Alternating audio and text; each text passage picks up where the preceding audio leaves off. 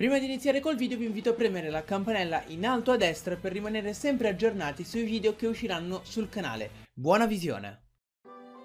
Nella notte tra il 7 e l'8 aprile è stato rilasciato sul canale ufficiale di Pokémon un trailer riguardante il ventesimo film Pokémon che andrà in onda nelle sale cinematografiche e forse era anche ora che ne parlassi anch'io.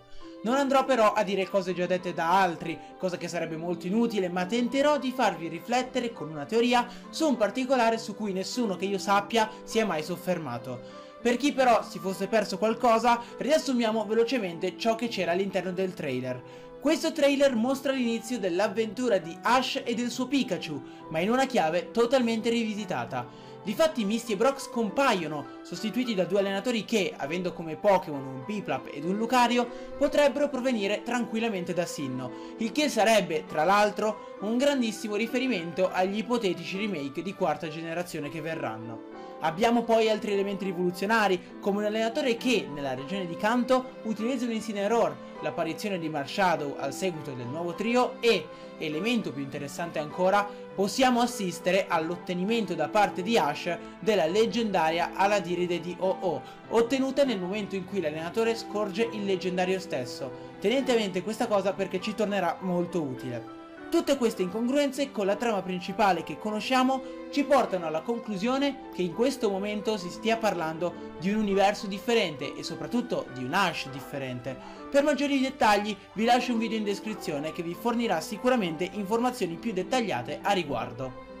Ciò di cui io volevo in realtà parlare dopo questa premessa fin troppo lunga è il come è cambiata la regione di Kanto in questo universo. Mi spiego meglio. Per noi la regione di Kanto, come la conosciamo adesso, è una regione molto chiusa in se stessa, nel senso che sia nell'anime che nel gioco non si incontra nessuno che provenga da altre regioni, forse qualcuno di Yoto e non ne sono nemmeno troppo convinto.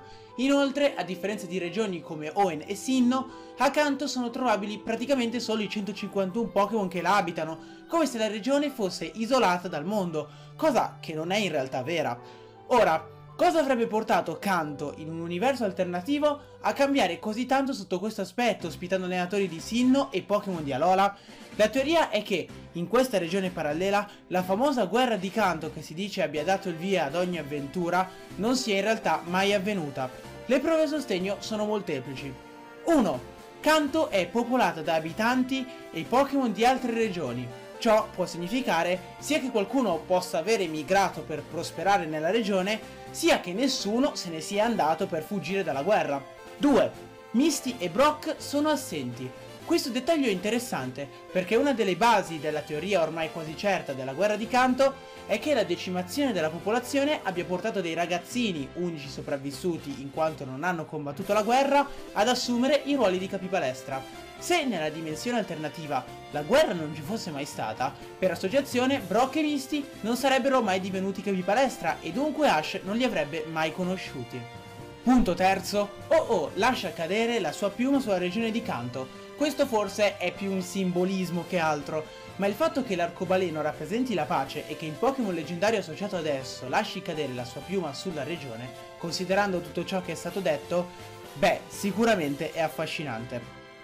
Quindi ci troviamo davanti ad una canto molto diversa che per le ragioni citate in precedenza ha corrotto l'avventura di Ash, così come la conosciamo, e chissà che l'allenatore non abbia all'interno del ventesimo film Pokémon un ruolo importante in questa ottica molto molto particolare. Fatemi sapere in un commento cosa ne pensate di questa teoria, se pensate che sia giusta sbagliata, se avete degli appunti da fare.